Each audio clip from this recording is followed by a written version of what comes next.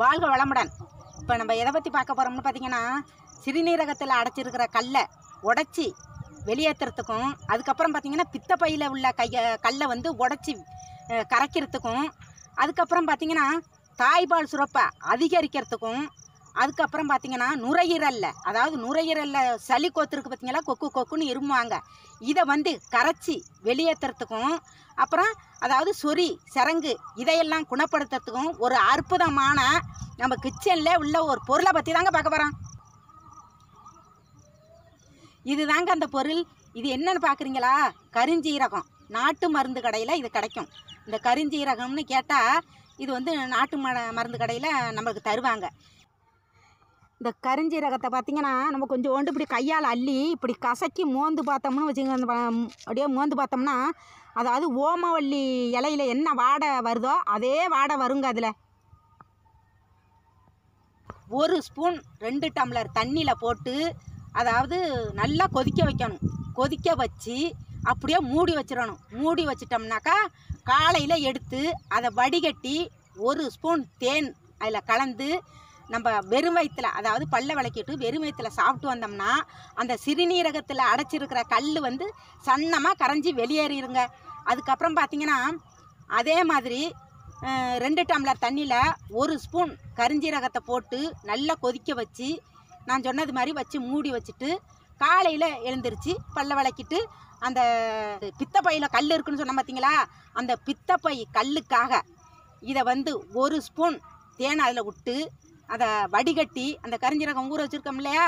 அதை வடிகட்டி நம்ம காலையில் வெறுமயத்தில் சாப்பிட்டு வந்தோம்னா அந்த பித்தப்பை கல் வந்து சன்னமாக கரைஞ்சி வெளியேறிடும். அதுக்கப்புறம் பார்த்தீங்கன்னா நுரையீரலில் சளி கொத்துருக்கு பாருங்க. கொக்கு கொக்குன்னு இருமும் போதே அப்படியே அது ஒரு மாதிரி கருப்புரு கருப்புருன்னு இருமுவாங்க.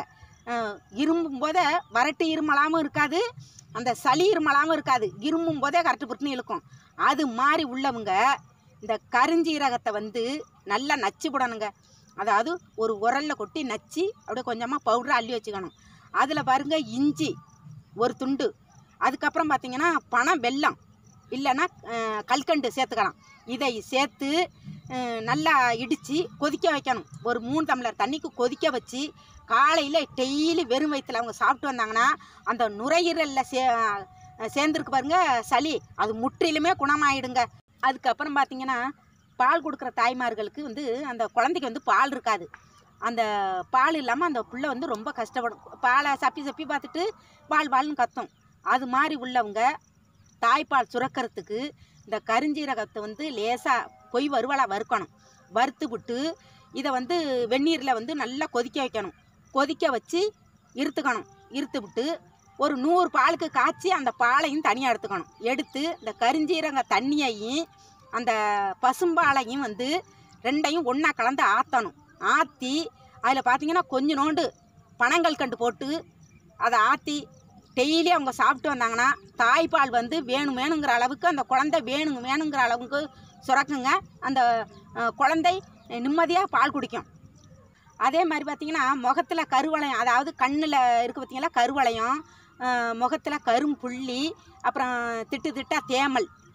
அதுக்கு வந்து இந்த கருஞ்சீரகத்தை நல்லா பட்டு போல் அரைக்கணும். அரைச்சி பசும்பால் பச்சை பாலில் இந்த கருஞ்சீரகத்தை அரைச்சி வச்சுருக்கோம்ல அதை வந்து கையால் அப்படியே கலக்கி முகத்தில் வந்து அப்ளை பண்ணிக்கணும். இப்படி நல்லா பூசிக்கிட்டு ஒரு கால் மணி நேரம் வச்சுருந்து முகத்தை கழுவுனோம்னா அந்த கருமலையம் அந்த கரும்புள்ளி பருவு எல்லாமே முற்றிலும் குணமாயிடும். இந்த கருஞ்சீரத்தில் ஒரு ஸ்பூன் அதுக்கப்புறம் பார்த்தீங்கன்னா வேப்பலை ஒரு புடி ரெண்டையும் வச்சு பட்டு போல் அரைக்க அரைக்க அரைக்கணுங்க.